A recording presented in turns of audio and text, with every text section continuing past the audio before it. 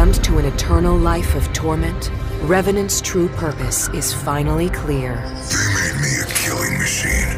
Who am I to argue with programming? Once one of the deadliest assassins in the Outlands, the Apex Games now satiate his endless bloodlust. They only think they know what. His power to silence the talents of opposing legends negates their advantages and ability to escape. That little voice saying there's still hope. It's lying. Not bound by human limitations, he can quickly maneuver to strike with violent efficiency. Now this, this is worth living for. But Revenant's ultimate power is the true embodiment of his horror. Wait until you see what happens next. With enough energy, he can summon a dark totem it's just a bad dream.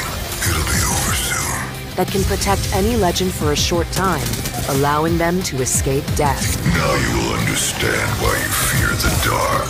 Death is coming, and he's coming for you. Ah, I'm the nightmare.